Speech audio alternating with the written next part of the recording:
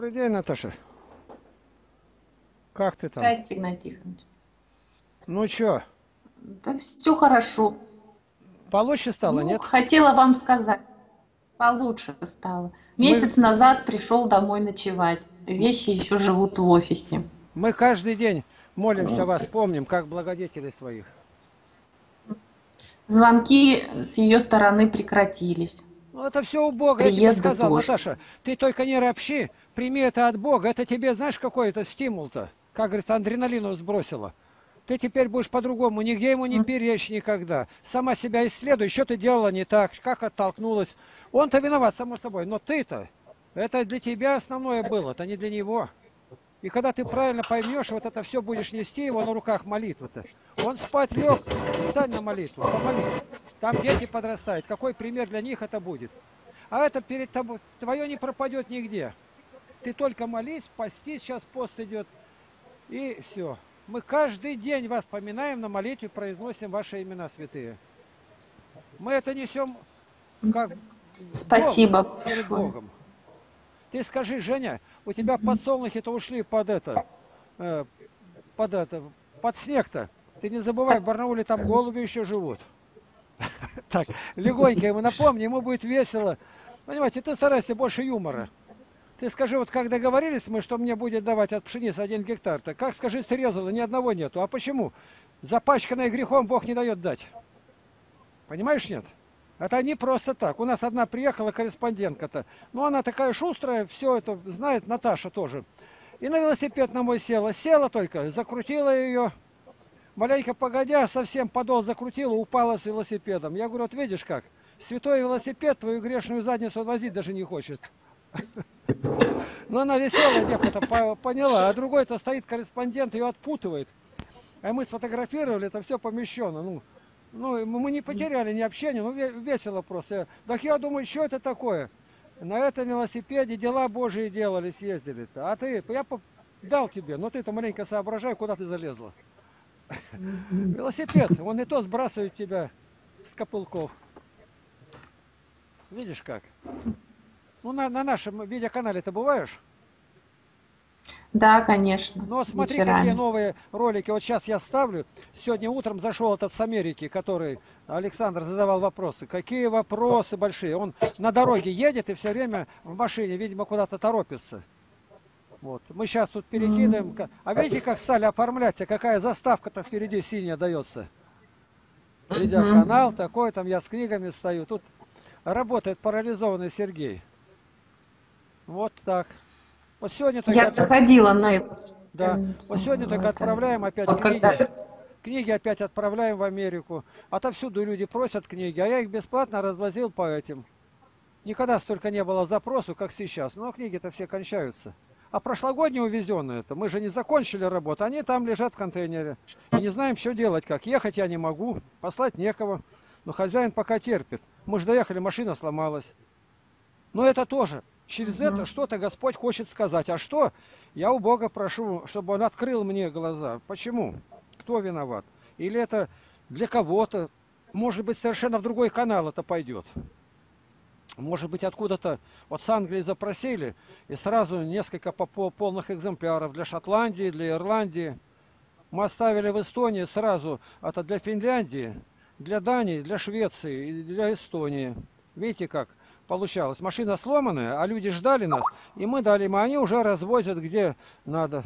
Пытается пробиться сейчас э, в библиотеку королевы Великобритании. В Дании сразу показали, ваши книги будут в в королевской библиотеке. Это чего-то стоит. А люди сейчас считают, и новые-новые души приходят. А я откуда знал это? Сидел, писал, клюкал, там глаза портил. А теперь видишь как? Все по-другому Бог поворачивает. Надо только довериться Богу. Ты как все пройдет маленько, Господи, слава тебе. Конечно. Опять получше. А я интересно, два дня назад только об этом думал. А молитва стала идти ка- каким-то с такими с перевалами. Я не могу ответить даже как. Как будто бы Игнатий Тихонович, я сейчас... А. Ну, давай, это я это считаю. Это накладная. Угу. Ты мне что, Чё? там отнимешь все, сколько, там? Ну, конечно. Там я, чу- а я забыл, сколько был должен я. 18 или сколько? 16? что-то. Сейчас. В- 18 там. Ну ладно, потом дашь. Это 166 литров солярки брал я. Вот я по этой накладной, 166 литров. Мгм. И, и туда все отнимите, и скажете. ну, Хорошо, я да? запишу, потом перезвоню Всё, ладно. скажу. Я хотел спросить, заговорился сразу, Я обрадовался. на Обрадовался, что зашла-то.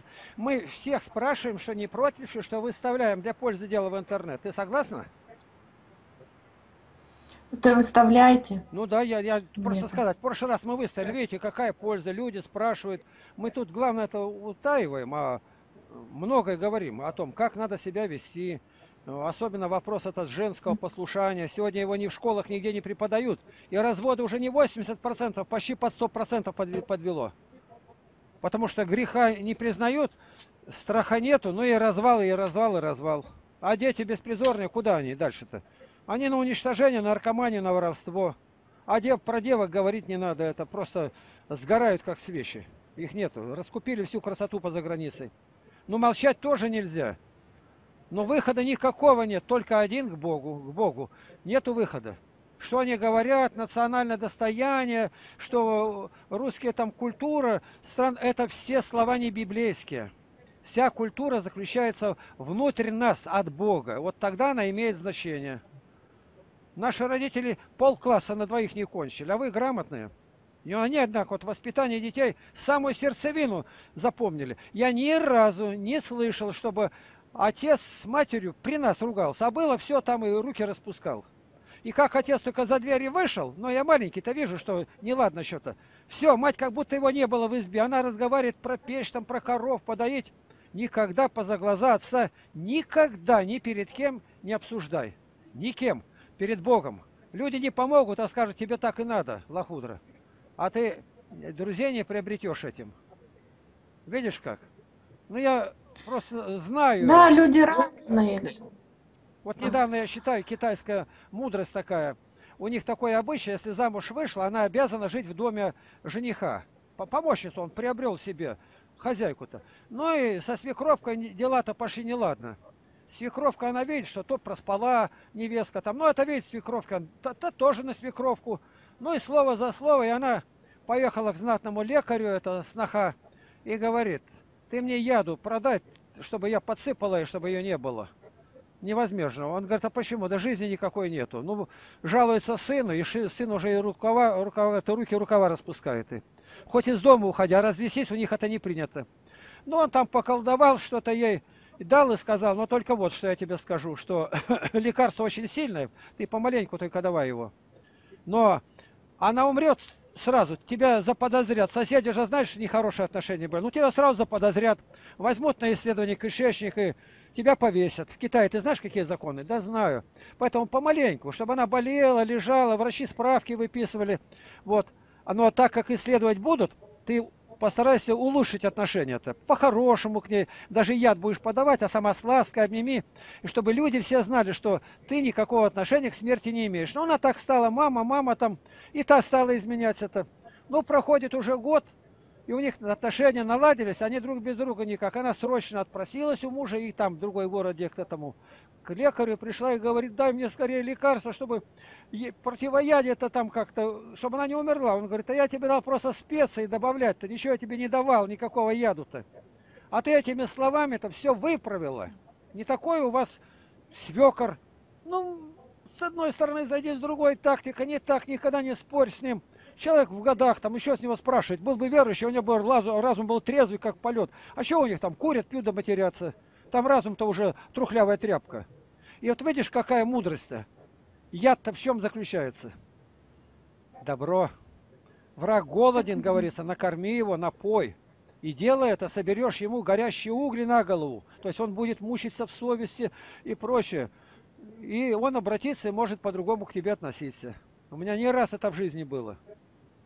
Я к нему с подарком пришел, а он, знаешь, что воевал, а он так и руки опустил. Да другим начал рассказывать. И не где-то, в прокуратуре края.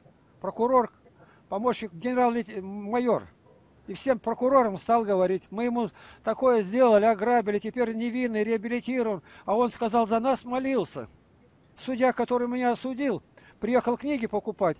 Ой, а мы-то думали, вы наших детей проклинаете до десятого колена. Я говорю, а мы за вас молились, Владимир Александрович. Здрасте. Ну, а А. Сейчас, секунду. Жени-то нету там? Нет, он сегодня в Барнаул уехал. У нас там проблемы Если у него есть какие-то небольшие. вопросы, Олег, там запишешь?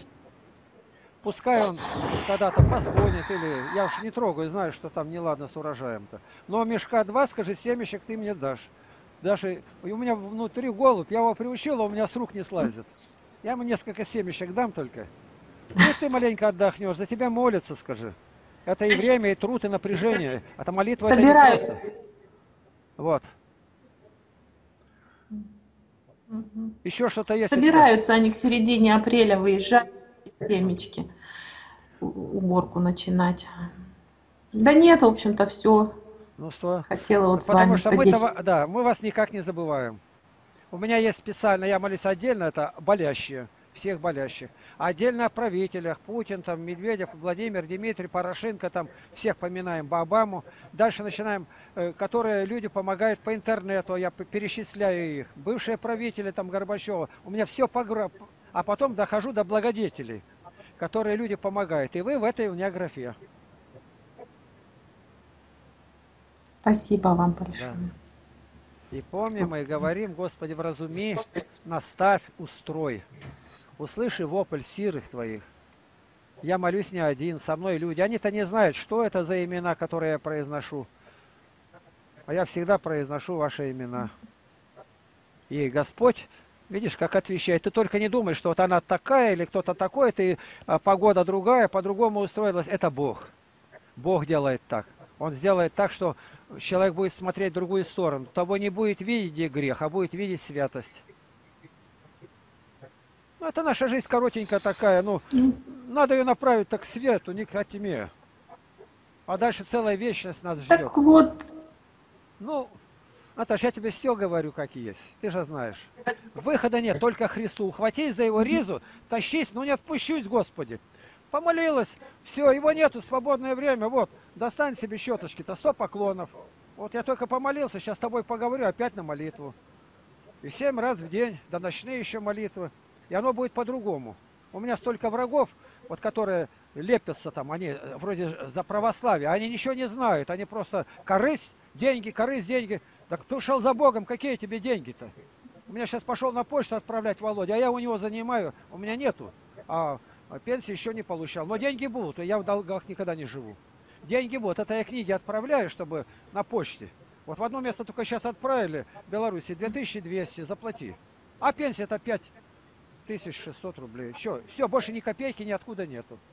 И в это я должен вложиться за мусор, за электричество, за интернет. Тут платит, платит за меня один. И мне даже нужды никакой нет. Вот живу, как говорится, божья пташка. Ничего нету. И всем это интересно. Вот сказал только, я говорю, я никого не прошу ничего. Сказал только, лук кончился. Уже на машине приехала одна, привезла пять луковок. Вчера еще кто-то принес. Вообще, вот просто живем на смех людям. Как? Ну, а сколько радости. У меня ничего нет. Я ни дефолтов никаких не боюсь, ни этих кризисов. Все позади. А Бог знает это. И приходят вот в интернете люди, которые, а можно я вам помогу вот книги издавать? Я говорю, я их издал, уже не издаю. Ну хоть на что-то, на что-то я не трачу. Вот на благовестие это дело другое. Потом говорю, у нас могут быть новые поселенцы, денег нет. Да, да вы что? Кто-то, не прошу, не знаю, незнакомые люди с интернета. А почему вы мне даете? А уже знаем, что никуда не потратите. Я одной копейки за всю жизнь не потратил на себя. Что тебе доказывает-то? Не то, что похвалиться, но я хвалюсь моим Господом. Я в деньгах не понимаю. Вот сейчас пачками лежали бы доллары, вот такими пачками. И я вообще не знаю им цены. Я их просто спихнул и отдал. Я в Америке был, мне здорово помогли. И ни одного цента на себя не потратил. Купил 13 библиотек, образовал. Полную машину КАМАЗ, рабицы сетки привез. Инструменту, пилы там всем надарил. Еще нету. Для лагеря купил шифера. Меня Бог на это избрал. И поэтому мне так легко и рассуждать об этом. А увязнешь где-то, там маленько смухлевал, тут своровал. Ну и пошло, и пошло. Не думайте, что у вас кто-то там трубы своровал, как мне рассказывал ваш хозяин, и так у него все пойдет хорошо. Не все хорошо. Ворованное будет гореть под тобою. Нас отец говорил, он совсем почти никакой был. Потом только обратился. Хочешь, сынок, пить, пей. Хочешь курить, сынок, кури. Но не воруй и в карты не играй, узнаю, башку отшибу. И мы знали, это не угроза. Он был очень крутой отец у нас. Вот. И мы боялись карты и воровать, как огня. И это он в нас заложил, чтобы нигде никакого обмана не было, прожить без обмана. Ну, а остальное Бог уже стали считать, пошли в школу, дальше обратились. И упокой, Господи, раба Твоего Тихона в обителях небесных. Вот так. Даже запрещали мне, они отец мой враждовали с родным братом. Он Тихон Дмитриевич, а через два дома жил Степан Дмитриевич. И из-за того, что я туда тянулся к вере, а отец мой бунтовал. Он очень хотел меня видеть коммунистом. Мгм. Как я ответил стихотворение ему, как в басне надо наш беде случиться, служить греху смертельно я устал. В мечтах меня ты видел коммунистом, а я нашел воскресшего Христа. Я, а и мне запрещали, ну лягут спать наши, я потихоньку оденусь и дяде через два дома пойти божественные книги послушать. Меня не могли отвратить, у меня твердость была, стремление к небу. Я был избран Богом. И это бесполезно. В комсомол затащить или что-то, это пустая затея. Это Бог так сделал. И я старался... А Остальные там грехи не знал, там, говорится, купался в этом. Но от чего спас? У вас память хорошая мне. Память поедает это блуд женщины. А у женщин мужчина. Если в этом завяз, я говорю о незаконной где-то посторонней связи. Это человек безумный.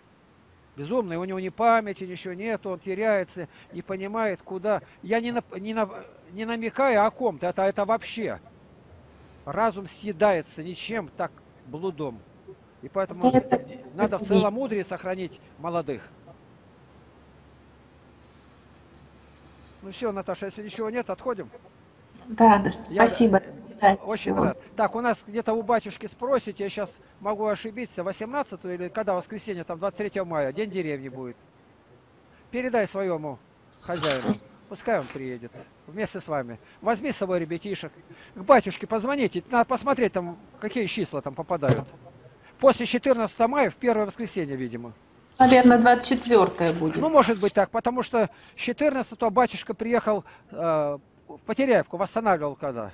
Мгм. Где-то здесь, в этом, ну, может быть, даже 18, после 14 мая в первое воскресенье.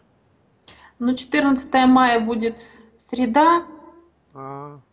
четверг, а потом вот э, 24 мая Ну, получается. все, значит, получается так. Я сказал, у батюшки можно переспросить. Ну, храни вас Господь. Ты меня порадовал, Наташа. Сегодня мы будем молиться, уже Бога благодарить. И ты обязательно встань на молитву и скажи, Господи, благодарю Тебя за самое маленькое благодари. Кроме одной беды, если не будешь благодарить, придет четыре беды других. Поэтому двери неба нам для милости открывает благодарение, что мы поняли, Господи, Ты нас исправляешь. Благодарю Тебя. А тебе на работе нельзя в платочке быть? Не поймут. А, а не надо на это смотреть. Это уже рабство перед чужим мнением. А борода, я не могу ее на ночь убирать-то. Какой есть? Вот у нас все в платочках. И такой закон. Без платка ты молиться не можешь. Никто не меня поймет. Кто не поймет там? Кто зашел, директор? Ты сама директор. Кого Нет, тебе надо? Не- Никому не подчиняйся. Павильона так быть, чтобы женщины волосы были покрыты. И все. В следующий раз, когда будешь в эфир выходить, надевай платочек. Договорились? Договорились. Я не нажимаю на вас, просто это закон, чтобы на меня потом не упрекнуло, что я не сказал вам. Вот у нас на иконах везде посмотри, без платка нигде нету. И в Потеряевке даже маленькая девочка, даже трехлетняя, за ограду не имеет права выйти без платка. Благодарю. Спасибо.